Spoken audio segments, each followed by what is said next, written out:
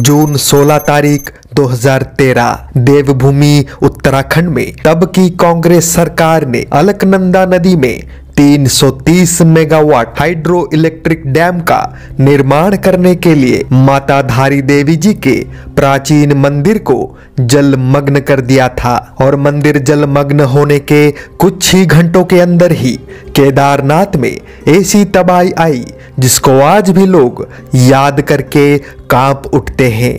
माता धारी देवी जी उत्तराखंड के रक्षक देवी हैं। कहने का तात्पर्य यह है कि देवभूमि उत्तराखंड कोई साधारण स्थान नहीं है। भारतवर्ष का अति प्राचीन एवं अध्यात्म का केंद्र है। परंतु आज उसका अस्तित्व हमारे आँखों के सामने मिट रहा है। जय और पराजय का विचार छोड़ के कर्तव्य पर ध्यान दो। डर अपने आप दूर हो जाएगा।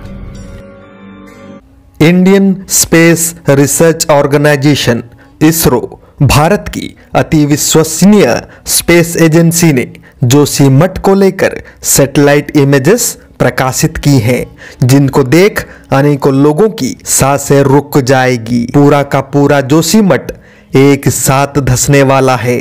इस इमेज के ज़रिए इसरो का कहना है कि पिछले 12 दिनों के अंदर ही पूरा का पूरा जोशीमठ पाँच दशमलव चार सेंटीमीटर धस चुका है।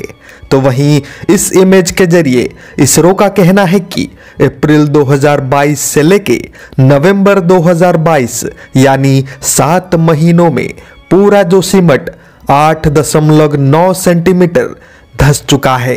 ये जानकारी अति विचलित करने वाली है।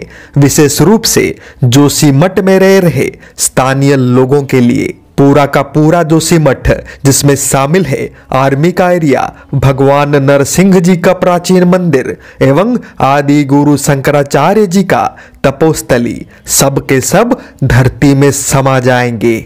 तो वहीं केदारनाथ एवं बद्रीनाथ धाम जाने का मुख्य रास्ता भी हमेशा हमेशा के लिए बंद हो जाएगा। ये सब सोच के ही मन विचलित हो उठता है।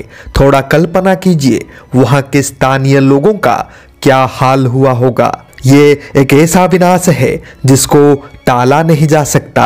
और इससे बड़ा चिंता का विषय यह है कि जब देवभूमि में ही विनाश का आरंभ हो चुका है, तब हम सब कलयुग के अंत से कैसे अपना मुँह मोड़ सकते हैं? 2021 में मैंने इसी चैनल पे कहा था कि 600 सालों पूर्व पंचसखाओं ने भविष्य मालिका ग्रंथों के माध्यम से कहा है कि हिमालय कलयुग के अंत के समय गायब हो जाएगा, अर्थ खंड खंड होकर टूट जाएगा।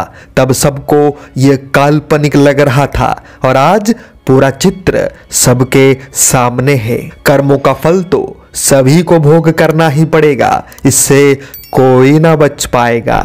जय जगन्नाथ जय पंचसखा जय हिंद।